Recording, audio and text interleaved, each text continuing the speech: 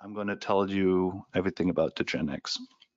Let's see what it is. We have Plus, Zolid FX, and ZI.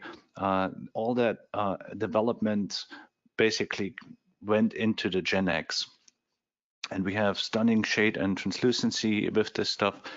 I can almost not tell them apart from a Zolid FX if you know how that stuff looks like. I love the FX. FX is great material, but it has its limitations, as you know. Uh, maximum three unit bridges, including posterior. That's great, but uh, can't do everything with it. So for that reason, now the universal material, multi-layer, uh, one shade per disk. So the Gen X puts an end to the time-consuming search for the right blank. Uh, the struggle, I don't know, who of you is using the Zolid FX material, struggle sometimes was finding the correct puck for the correct shade and uh, for the correct strength in order to uh, make the restoration an appropriate way while still being aesthetic. And the FX multilayer, as much as I love it, the struggle with that sometimes was or is that you're eventually looking for the perfect shades with the least amount of staining afterwards and then having two shades on one puck sometimes isn't the easiest. Now here we have one shade per puck and uh, we have a true all-rounder with the high aesthetics. Like i said i almost cannot tell them apart looking at the gen x and the Zolid FX multilayer. And they it's really minimal. I have to hold them up to light or to a light source or something uh, in order to really see the difference and tell. On pictures, it's getting really tough. If you're holding it in your hand eventually, but you can make some minimal cutbacks, minimal layering techniques. There's some great stuff out there with Miyo, what I've been seeing. So that really works great. And you don't have to worry about what kind of indication it is because we're talking about a thousand um, megapascals here. So it has all the advantages of the Zolid HT plus.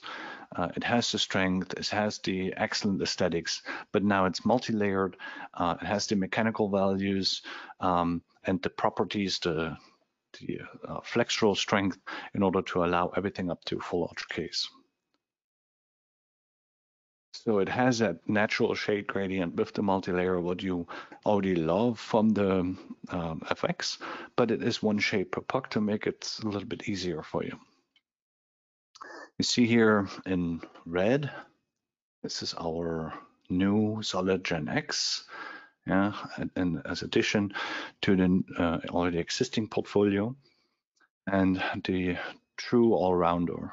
So if any zirconia, if you're just starting out with the Amann product line, then this would be the zirconia to get going because you can probably do all your cases uh, with it. And then maybe you're deciding in some cases you need a low translucent or you need um, super high translucent. Translucency in our case is done with the amount of yttria so you see here the strength values, 1200 megapascal for the low translucent ZI, 1000 megapascal for the HT Plus and the Gen X, and the Zolid FX has 700 megapascals. Uh, we can do four or class four multi-unit bridges with this material, the Gen X. And um, with the amount of yttria being so close to the Zolid FX, we, we get still really good aesthetics with it. The yttria and the zirconia, as you already know, has an effect on uh, the, the, phases uh, during the sinterization. So uh, through the sinterization, it goes through the monocline phase and then ends up in the tetragonal phase and eventually in the cubical or in the mixed phase. And the mixed phase is uh, the Zolid HT plus, where we have a cubic phase of approximately 30%. So that's as you see, is fairly close to the FX. And uh, really what all means is this, right? Shade predictability, getting the good aesthetics from it, and uh, shades, I, I, to me, uh, I've seen so many good looking zirconias out in the laboratories, but if the shade's off, like I don't know. Then for us, it's not really an issue. You just we can go at it. The shades there, the aesthetics there. Uh, this is going to be a really nice all-rounder. Like I already said, I keep repeating myself, but uh, it's going to make life a lot easier. Pictures usually speak more than 1,000 words, so here you have a couple of them. You have five reasons why Gen X. Fun right from the start, like I said, if you're just starting with this, try this material out. Um, there's not much to it in order to make a case really nice looking and aesthetic. It's same, same, but different because it is zirconia, what we already have a lot of experience with, but it is the latest generation of it.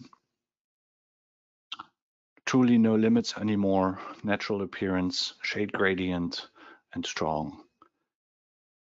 First priority for any deliveries is going to be the shades Bleach 3, A2, A3, A3.5, B1, B2, C1, C2, D2. The heights, as you already know, everything which is pre-shaded, multi-layered, etc., for us is in 14, 16, and 20 millimeter shades, uh, heights, sorry, and comes, as you can see in the picture, 71 D shape and 98 millimeter. We're starting in March 2020, so get ready for it.